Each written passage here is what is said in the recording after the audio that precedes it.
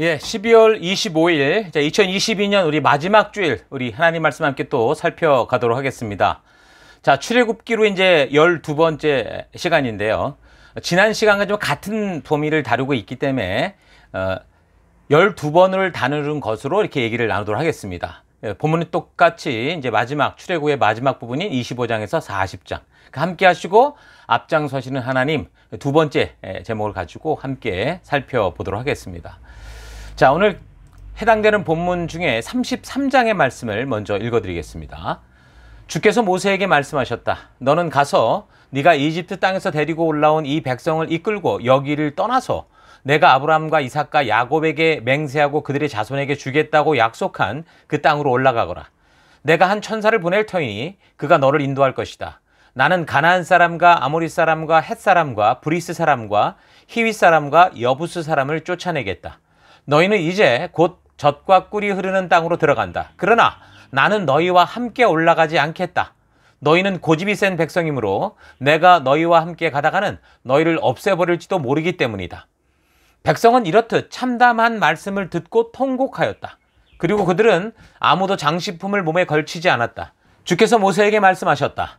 이스라엘 자손에게 전하여라. 너희는 고집이 센 백성이다. 내가 한순간이라도 너희와 함께 올라가다가는 내가 너희를 아주 없애버릴지도 모른다. 그러니 이제 너희는 너희 몸에서 장식물을 떼어버려라. 내가 너희에게 어떻게 해야 할지를 이제 결정하겠다. 이스라엘 자손은 호랩산을 떠난 뒤로는 장식품을 달지 않았다. 예. 자, 우리는 어, 지난주 어, 시내산에서 어, 하나님과 언약의 자리에 나온 이 백성들에게 예, 하나님 나라 백성으로 살아가는 하나님 나라의 가치를 알려주시며 또한 그 백성들과 함께 하실 그 성막까지도 일일이 성실하게 알려주시는 그 하나님의 열심을 보았는데요. 그런데 그런 와중에 모세가 지금 이 40일을 그 바위와 돌뿐인 시내산에 올라가서 내려오지 않게 되니까 예, 이제 백성들은 그가 죽은 것으로 단정을 한 거죠. 그리고 이제 자신들이 원하고 그리고 기대하는 그런 신을 만드는 이 백성들의 터무니없는 그런 행동까지 우리가 살펴봤습니다. 자, 오늘 우리는 어, 성탄절을 맞이했는데요. 뭐 2022번째 성탄절이라고 할 수 있겠죠.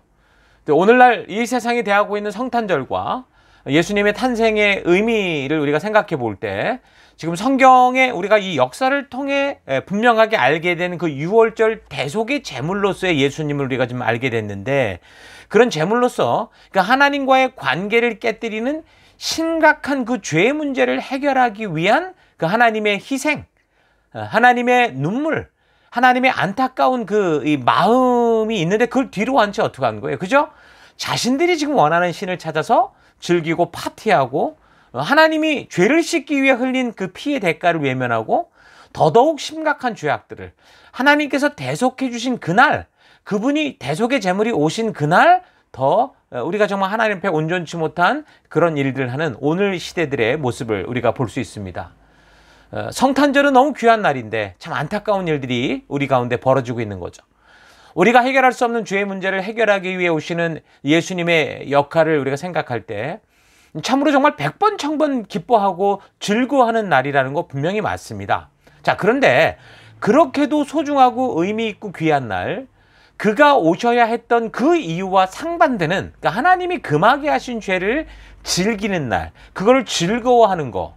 이거는 지금 신의 산에서 그 하나님의 어, 하나님과 언약을 맺는 과정에서 어, 이 백성들이 모세가 죽은 줄 알고 바로 어, 자기들이 원하는 신을 만드는 죄를 짓는 것.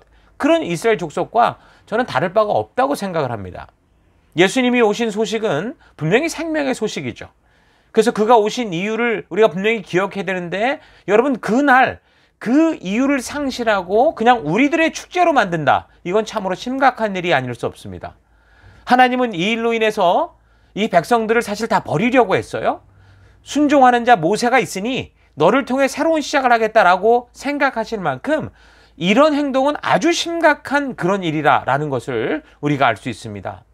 그러니까 성탄절은 하나님의 사랑과 하나님의 그 공의가 동시에 실현되는 너무도 즐거운 날이지만 동시에 너무도 슬프고 고통의 날, 가슴 아픈 날이다 라는 거 여러분 우리가 분명히 기억해야 됩니다. 이미 지난주에도 이야기를 했듯이 누군가의 죄를 씻기 위해서 뭐가 필요했습니까? 생명이 필요했어요.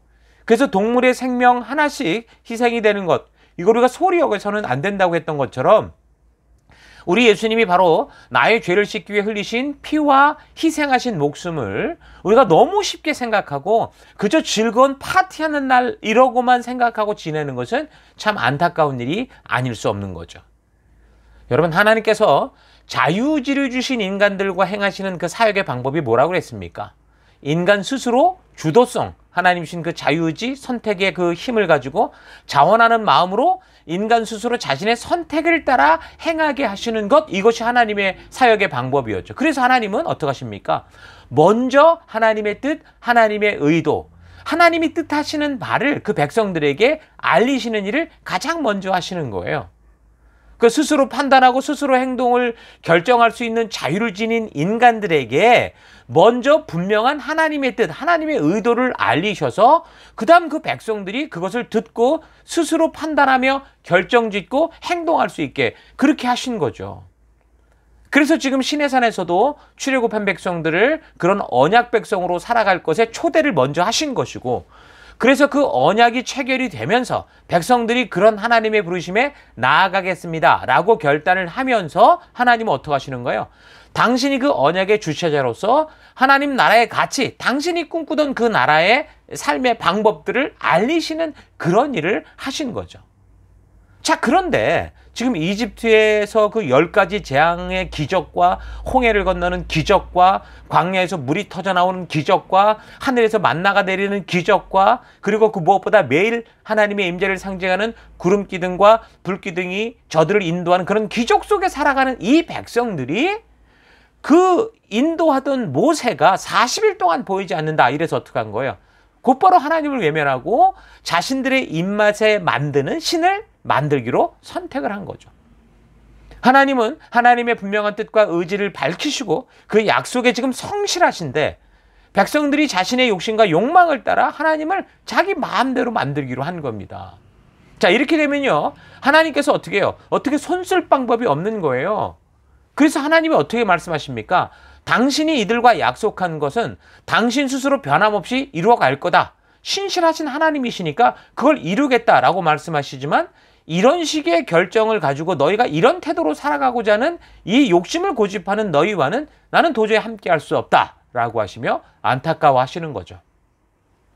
사실상 그래서 이어지는 내용들을 보면 모세의 중재로 하나님께서 이런 백성들을 즉각 심판하실 것을 참으시지만 사실상 하나님의 심정으로는 이미 이 백성들과의 언약을 파기하신 것처럼 보일 정도입니다.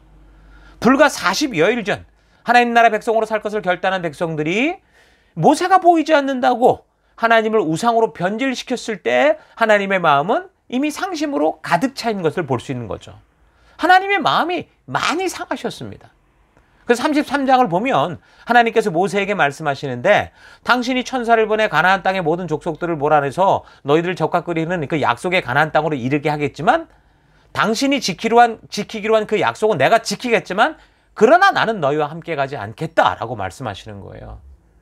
이것은 하나님의 마음이 상한 것보다 상해서 지금 이렇게 속상해서 이러는 게 아니라 지금 이 백성들이 계속해서 하나님이 함께 하실 수 없는 그런 짓들, 그 우상 숭배를, 우상 숭배를 떠나지 않고 있다라는 것을 말해 주는 거죠. 그러니까 하나님이 이 사람들을 버린 게 아니고요. 이 인간들이 하나님을 저버린 겁니다. 하나님을 자기들이 원하는 우상으로 만들어서 그런 우상을 하나님이라고 하면서 살겠다고 하면 하나님께서 어떻게 그들과 함께 할 수 있겠습니까? 할 수 없는 거죠. 하나님의 열심과 그 사랑과 은혜를 쉽게 줘버리고 자기들의 욕심을 따라가겠다고 고집하는 사람들과 하나님은 함께 하실 수 없는 겁니다. 여러분 그래서 이 사건은 이 금송아지 사건은 사람들이 보통 이제 일반적으로 기대하고 바라는 그 일반적인 신관 사람들의 생각 속에 있는 그런 신이 어떤 것인가라는 것을 적나라하게 보여준 사건이라고 볼 수 있습니다. 그러니까 많은 사람들이 이런 신을 찾고 있어요. 이런 신이 되어주기를 기대하죠. 그러니까 그 하나님이 나와 동행할 필요는 없습니다. 하나님의 힘과 권능만 필요하다. 이런 식의 신앙이죠. 이런 신앙을 많은 사람들이 추구하고 있는 거예요. 과거 그 시대 사람들이나 오늘 우리 시대 속에서 나를 포함한 많은 현대인들도 똑같은 신을 우리가 만들고 있고 우리가 원하는 그런 신을 추구하는 그런 삶을 살아가려는 경향이 너무 강하다는 겁니다. 자, 그래서 하나님께서 이 금송아지 사건을 기록으로 이렇게 분명하게 남겨서 우리에게 말씀하시고자 했던 하나님의 진정한 의도, 그 안타까운 마음을 바르게 알고 그래서 어느 시대에 어떤 백성으로 태어나 어떻게 살아가든 그 시대에 우리는 그런 우상숭배, 그런 욕심에 빠지지 않고 하나님과 동행하는 건강한 믿음의 길을 걸어갈 수 있도록 믿음의 삶이 무엇인가를 알려주시기 위해서 하나님이 이렇게 인도해 주시는 거죠. 자, 근데 분명한 것은요. 이런 일을 저지른 백성들은 신의 산을 떠나기까지 예, 거기를 떠나 이제 약속의 땅으로 가기, 가는 그 순간까지 여전히 저들의 잘잘못을 잘 인식하지 못하고 있었던 것으로 보입니다. 지금 우리가 봤던 32장에서의 금송아지 사건은 지금 상황으로 보면 어, 언제예요? 하나님과 언약을 맺는 초기 시기였죠. 근데 33장은 지금 뭐라고 말하냐면 신의 산을 떠나라 라고 하시는 것을 볼 때 원래 이 신의 산에 거의 10개월을 머물러 있었거든요. 그러니까 1년 정도가 지난 상태다라고 볼 수 있는 거예요. 그렇게 되면 이제 우리가 뒤에 레위기를 살피겠지만 레위기의 교육도 다 맞췄을 것으로 추정되는 그런 시기예요. 근데 이제 이 33장 처음 1, 2절을 보면 그래서 하나님께서 이제 이 백성들로 하여금 신의 산을 떠나서 약속의 땅으로 가라 그러시면서 하나님이 약속한 그 땅을 차지하고 있는 적들을 쫓아내실 거다. 이런 얘기를 하신 거예요. 그런데 하나님은 뭐라고 말씀하셨습니까? 저들과 함께 가시지 않겠다라고 하시죠. 그래서 4절을 보면 백성들이 슬퍼하며 한 사람도 자기 몸을 단정, 단장하지 않았다. 그렇게 말합니다. 어떻게 보면 이 장면은 백성들이 굉장히 슬퍼하고 회개하는 것처럼 보입니다.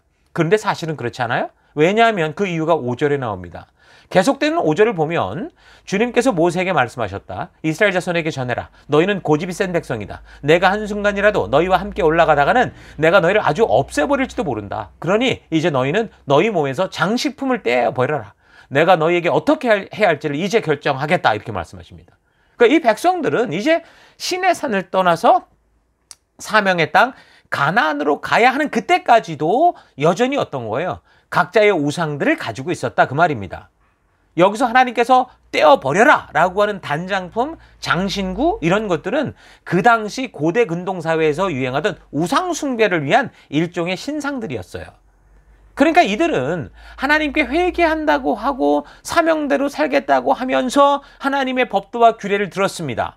내위기를 들었고 그들이 하나님과의 언약을 들었어요. 그런데도 여전히 자기들의 욕심을 채울 또 다른 뒷주머니를 차고 있었던 거죠. 또 다른 우상을 몸에 지니고 있었다라는 겁니다. 그런 우상을 지닌 채 지금 하나님이 주신 사명의 길로 나아가겠다라는 거예요. 하나님의 일을 하는데 우상의 것을 가지고 나가겠다 그 말인 거죠. 여러분 하나님은 두 마음을 품는 것을 가장 싫어하십니다. 예수님도 그래서 말씀하셨죠. 마태복음 6장 24절. 아무도 두 주인을 섬기지 못한다. 한쪽을 미워하고 다른 쪽을 사랑하거나 한쪽을 중히 여기고 다른 쪽을 업신 여길 것이다. 너희는 하나님과 재물을 함께 섬길 수 없다라고 말씀하십니다. 그런데 오늘날 교회와 교인들의 문제가 뭡니까? 바로 이렇게 하나님과 재물을 다 섬길 수 있다라고 생각하는 거. 그렇지 않으면 하나님을 재물을 쌓는 일에 동원시키고자 하는 거. 이게 가장 큰 문제 아닙니까? 여러분 하나님은 이런 마음, 이런 회개를 원치 않으십니다. 이건 회개가 아니라 자기 자신의 일에 대한 후회일 뿐이에요. 회개는 내 잘못을 인정하고 나를 하나님의 말씀의 가치대로 바꾸는 거예요. 하나님이 부르신 그 길로 나아가는 겁니다. 후회는 뭡니까? 자신이 이루고자 한 것을 내 뜻대로 이루지 못해서 또, 또 다른 방법으로 할 걸 하면서 자기 스스로가 후회하는 거예요. 그러니까 계속해서 자기의 것을 고집하는 거라고 할 수 있겠죠. 그러니까 이들은 여전히 저들을 기적과 표적으로 초대하여 언약의 장소 신의 산으로 이끄신 하나님이 누구신지 그 정체성을 잘 모르고 있는 것이고 그래서 자기들의 감정이 불안해지기만 하면 상황과 환경이 좀 불리하면 자기들의 만족과 유익을 위한 우상을 기꺼이 만들고 맞아들여서 그것을 저들의 하나님이다라고 하는 그런 사람들이었다라는 거죠. 그래서 하나님께서는 그런 아무것도 아닐 것이라고 생각하는 그 그릇된 생각의 습관들, 우리도 모르게 있는 우리의 그 미신적인 우상 숭배의 습관들, 하나님에 대한 오해의 증거 이런 이런 그 장식물이잖아요. 그 장식물들을 완전히 없애도록 그렇게 해서 말씀하시는 거예요. 명령하시는 거예요. 하나님께서는 지금 이게 기분 나빠하는 게 아니고요. 이런 저들의 그릇된 신앙관을 확실하게 드러내시고 그래서 깨뜨리시고 온전한 백성으로 사는 것이 무엇인가를 알게 하시는 거예요. 옛사람의 삶의 습관을 완전히 버리고 이제 하나님 나라 백성다운 새 사람으로서 살라고 그렇게 말씀하시는 거죠.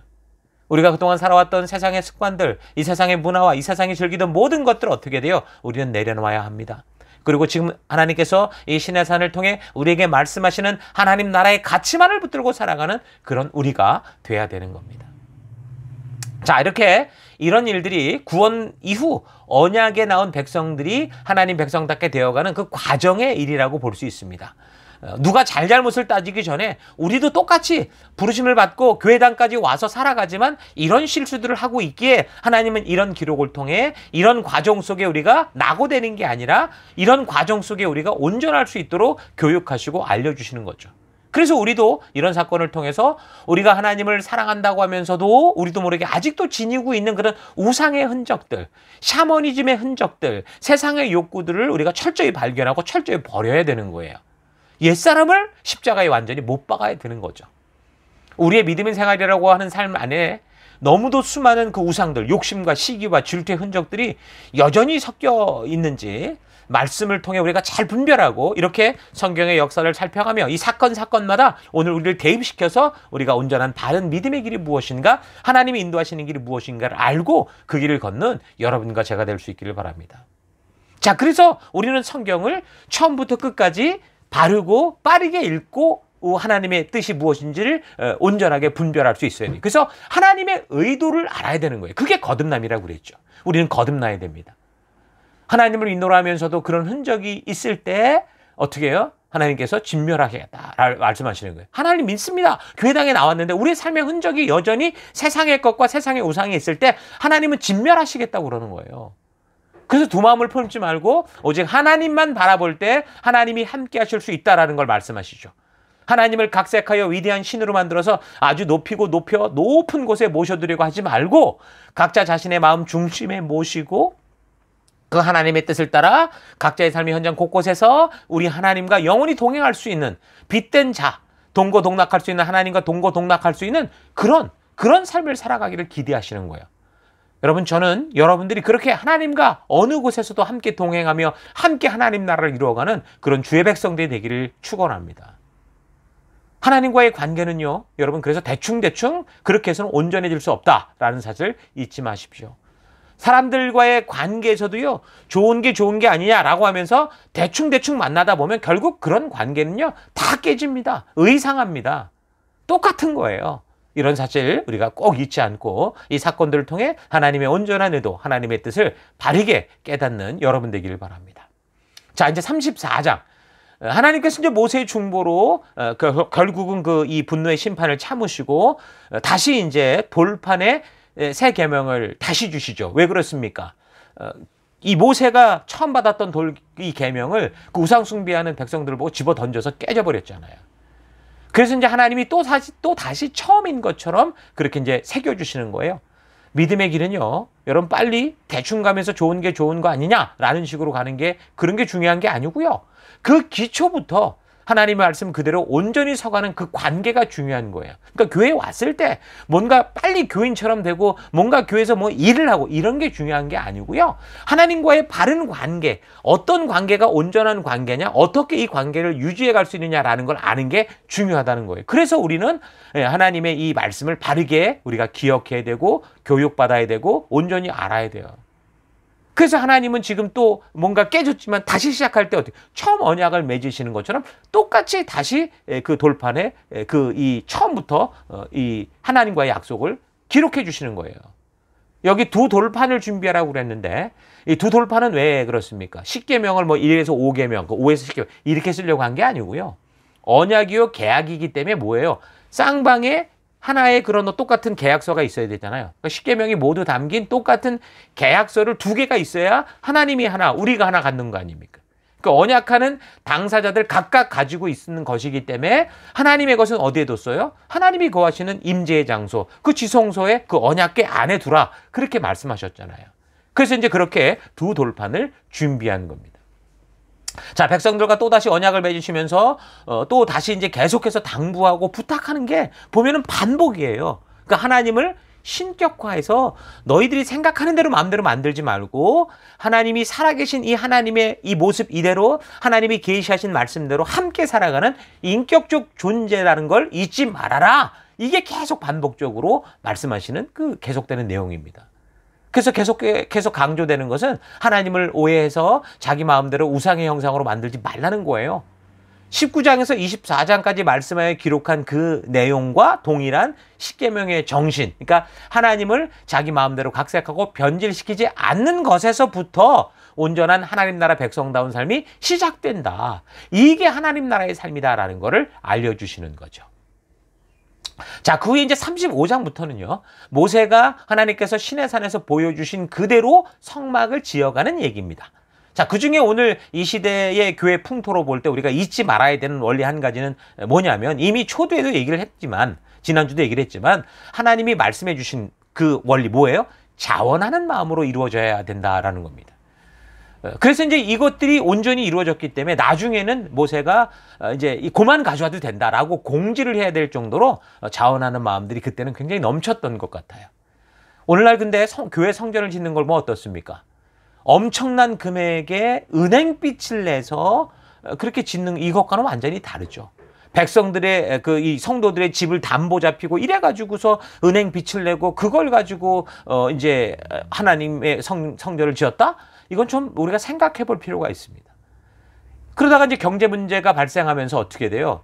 어, 이제 수많은 빚으로 지은 교회들이 은행으로 넘어가고 경매에 붙여져서 심지어 다른 이단 사이비들이 막 그런 건축물을 사서 아니 무슨 나이트클럽 이런 데가 그런 걸 사가지고 심지어 저기 강단 같은 데는 더 비싼 금액 받고 어, 그런 데 술자리 만들어주고 뭐 이런 일들이 막 종종 보도되고 있지 않습니까? 이 근래 이제 팬데믹을 걸치면서 더더욱 이렇게 큰 문제로 드러나기 시작했습니다. 교회들이 이제 빛으로 무너지기 시작했어요. 빛으로 만든 이 교회들이 건물들이 다 은행으로 넘어가고 다 다른 곳으로 넘어가고 있어요. 아주 심각한 문제입니다. 한국 교회들이 진 빚이 2013년을 기준으로 보면 총 4조 5천억이었는데요. 그래서 매년 한국 교회들이 부담해야 되는 이자가 한 2천억에서 많으면 5천억까지라고 말합니다. 매달 들여지는 헌금 중에 187억에서 416억 원이 이자로 나간다는 거죠. 매달. 많은 목사나 교회 중직자들은요, 이렇게 건물을 빛으로 지으면서 자신들이 세대에 그럴듯한 이 건물을 지어서 이것이 마치 목회의 성공이고 어, 우리가 좀 함께 교회를 섬긴 어떤 흔적이라고 섬김의 흔적이라고 그렇게 생각할지 모르지만 그러나 그런 목회적 야망으로 인해서 만들어진 건물을 감당해야 되는 그 후세대들 이 교인들은 전부 그 빛을 그 헌금을 전부 빛으로 은행에 갖다 주는 그런 일을 해야 되는 거. 이거 엄청난 재앙인 거죠. 자, 그러나 여기 지금 하나님이 그 백성을 만나기 위해 짓게 한 성막을 짓는 일의 원리에 있어서는 어떻습니까? 자원하는 심령으로 이루어지는 그런 원리였고 결국은 자원하는 심령으로 받쳐지는 것들이 넘침으로 말미암아 결국에는 기쁨의 성막을 짓고 기쁨으로 하는 잔치가 될 수 있었던 거죠. 정말 이 하나님이 만드신 성막을 다 지었을 때는 기쁨의 잔치였는데 오늘날 자칫 잘못하면 이 교회는 빚잔치를 할 수 있는 거예요. 이런 사실을 잘 기억하셔야 됩니다. 자, 이제 그렇게 39장까지 성막에 필요한 것들이 이제 다 완성하게 되는데, 자, 42절을 참고하면 여호와께서 모세에게 명령하신 이스라엘 자손이 모든 역사를 마쳤다라고 분명하게 말씀대로 순종한 그 결과를 보여줍니다. 하나님은 모세에게 말씀하셨죠. 그리고 모세는 그 백성들에게 전했는데 그 결과가 바로 하나님께서 모세에게 명하셨던 그대로 이 백성들이 다 이루었다라고 말하는 거예요. 이게 순종이라는 거죠.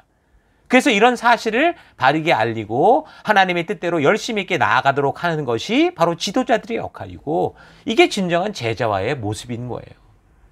그러니까 하나님의 말씀이 가감되지 않고 변형되지 않고 그대로 다음 세대에 흘러갔는데 그 다음 세대들이 하나님이 말씀하신 그대로 행하며 살아가는 것, 살아가게 하는 것, 그게 바로 교회 목사와 리더와 우리 교회의 역할인 거예요. 자, 이런 사실 잊지 마십시오. 자, 그래서 40장 비로소 이제 이 성막 교회를 봉헌하게 되는데 하나님의 말씀대로 이루어진 곳이므로 거기에 이제 하나님의 영광이 성막에 충만해서 모세가 그곳에 들어갈 수 없을 정도의 엄청난 그 위험이 있었죠. 이 성막을 하나님이 기뻐하셨던 것은요, 저들의 열심보다 뭐예요? 하나님의 말씀대로 순종했기 때문이라는 거예요. 이 사실을 잘 기억해야 됩니다.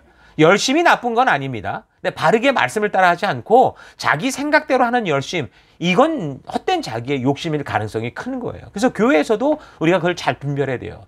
대부분 기도도 간절히 하고 뭐 봉사도 열심히 하고 이런 간절한 마음을 가진 사람들을 보면 하나님이 주신 그 거룩한 도전과 그 감격으로 인한 것보다는 자기에게 뭔가 절절히 필요한 뭔가가 있을 때 그럴 때가 더 많아요. 이런 거 우리가 잘 되돌아봐야 된다라는 거 잊지 마시고 이제 우리가 창세기로부터 출애굽기까지 이 신의 산에 오기까지 하나님의 뜻이 우리에게 온전히 무엇인가를 알려지는 여기까지 우리가 지금 살폈는데 레위기를 통해 서 다시 한 번 더 그 하나님이 주신 그 가치에 대한 부분들을 우리가 짧게 살펴가겠지만 여기까지의 역사들을 여러분 잘 기억하시고 이것을 잘 우리가 마음에 새겨야 그 다음에 계속되는 역사들의 흐름을 바르게 분별하고 판단할 수 있다는 거 잊지 마십시오. 자, 이제 여기까지가 출애굽기였고 이거 살폈는데 십계명과 법도와 규례와 율법을 왜 주셨는지 우리가 잘 기억하고 정말 하나님이 에, 하나님의 뜻이 이 땅에서도 정말 이루어지는 그런 하나님의 나라, 그런 믿음의 세대를 만들기 위한 그런 순종의 삶을 오늘도 우리가 이 땅 이곳에서 살아갈 수 있기를 바랍니다. 하나님은 오늘도 예수 그리스도의 피로 속한 이 백성들 바로 여러분 성도님들을 하나님의 백성답게 사는 그 언약으로 초대하고 계십니다. 그래서 뭐라 말씀하십니까? 세계가 다 내게 속하였나니 너희가 내 말을 잘 듣고 내 언약을 지키면 너희는 모든 민족 중에서 내 소유가 되겠고 너희가 내게 대하여 제사장 나라가 되며 거룩한 백성이 되리라. 이곳으로 우리를 부르십니다. 이 사명으로 우리를 초대한다라는 것 잊지 마시고 내가 어떻게 이집트 죽음의 땅에서 언약의 땅 신의 산까지 오게 되었는지를 잘 되돌아 보고 그리고 이곳에서 받은 하나님의 말씀과 마음, 의도를 가지고 이제 우리가 보냄을 받은 사명의 땅, 그 약속의 땅, 가나안 그 우리의 삶의 곳곳에 나아가서 어떻게 살아요? 하나님의 향기가 되고 그리스도가 그리스도의 편지가 되는 그런 삶을 살아가는 여러분과 제가 될 수 있기를 바랍니다. 자, 출애굽기를 통해 이렇게 하나님과 분명한 언약이 있는 관계가 되어야 이제 계속되는 레위기도 바른 의미를 발견해 갈 수 있고 또한 우리의 삶의 생각과 방법들이 하나님의 뜻을 따라가는 열매로 열리게 될 겁니다. 자, 이 가치들 여러분 마음속에 새기고 되새기고 또 되새겨서 오늘 우리 하나님이 우리에게 말씀하시는 이 거룩한 이 사명을 가지고 이제 계속되는 우리 뒷 내용들을 살펴가도록 하겠습니다. 자, 2022년의 마지막 주일 우리가 출애굽비를 마무리하면서 이렇게 마치고 내년에 우리 다시 내위기로부터 우리 또 계속 문을 열고 들어가서 우리 하나님의 뜻을 알아가는 귀한 시간들 만들어 갔으면 좋겠습니다. 자, 오늘 들은 말씀을 가지고 우리 잠시 묵상하며 함께 기도하겠습니다. 다 같이 묵상하십시다.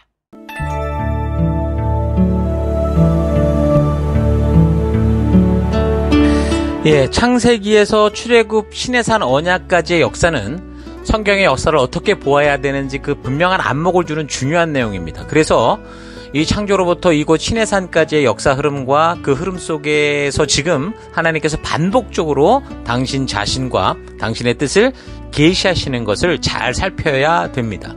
이 언약의 내용과 이 언약을 주시는 하나님의 의도를 알 때 우리는 계속되는 성경의 역사와 이 세상의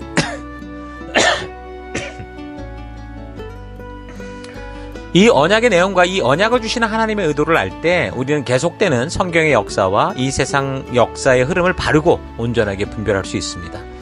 성탄절을 맞이한 오늘 예수님의 오심과 그 예수님의 죽으심과 부활과 성령의 임재와 이제 오실 예수님을 기대하며 살아가는 우리 신앙의 온전한 핵심을 바르게 이해할 수 있게 될 겁니다. 무엇보다 하나님께서 당신 나라 백성으로 우리를 삼으시고자 할 때 분명하게 조건을 제시하고 있다라는 의미를 잘 기억해야 됩니다. 사람들의 관계에 있어서 어떤 조건이 있다는 것은 불편한 것일 수 있음에도 불구하고 하나님이 제시하시는 이 조건이 있다라는 것은 우리로 하여금 아주 중요한 의미를 말하고 있다라는 사실을 잊지 말아야죠. 영원한 생명과 영원한 축복에 관련된 것이기 때문입니다. 우리를 먼저 찾아와 주시고 구원해 주신 하나님께서 우리에게 영원한 생명을 주시는 영, 영원한 생명을 위해 주시는 이 귀한 하나님 나라의 법도와 규례와 명령의 의미를 그래서 바르게 알고 그래서 우리가 지금 살아가는 각자 삶의 터 곳곳에서 어떤 직업을 가지고 어떤 일을 하며 어떻게 살아간다고 해도 그런 삶을 살아가야 되는 부르심의 이유를 잊지 말고 하나님의 의도를 따라 우리가 살아가는 곳곳을 하나님 나라로 세워가는 우리가 되기를 바랍니다. 2022년 제5차 연대기조 성경 관계를 시작해서 지금 어, 신해산 언약이라고 하는 아주 중요한 순간까지 왔는데 2023년을 맞이하기 전 이 하나님의 의도와 이 뜻을 분명하게 다시 잘 새기며 되새기며 우리가 정말 새해를 맞이하는 여러분과 제가 되기를 축원합니다. 오늘 들은 말씀을 가지고 그런 결단을 가지고 잠시 기도하기 원하는 것은 첫 번째 하나님께서는 오직 창조주 하나님 외에 다른 신을 자신의 생각대로 만들지 않는 것에서부터 참된 믿음의 삶이 시작됨을 아시기에 십계명의 첫 계명으로부터 분명하게 말씀해 주셨는데 나는 여전히 내가 원하고 바라는 금송아지를 만들며 살았던 것을 회개합니다. 회개하시고요. 두 번째, 2023년을 맞이하기 전 창조로부터 여기 신의 산 언약을 맺는 곳까지 이끌어 너무도 중요한 하나님의 의도를 아는 자리로 우리를 부르셨는데 온전한 우리 하나님의 귀한 이 마음을 가슴 깊이 새기며 새로운 한 해를 맞이하는 내가 되기 원합니다. 기도하시고요. 마지막 하나님 우리가 믿음으로 걷는 이 신앙의 삶이 억지로나 인색함으로 행하는 게 아니라 기쁨과 감사와 감격 속에 하나님 주도적이고 자원하는 마음으로 걷는 그런 삶 되기 원합니다. 우리 다 같이 잠시 함께 기도하겠습니다. 기도하십시다.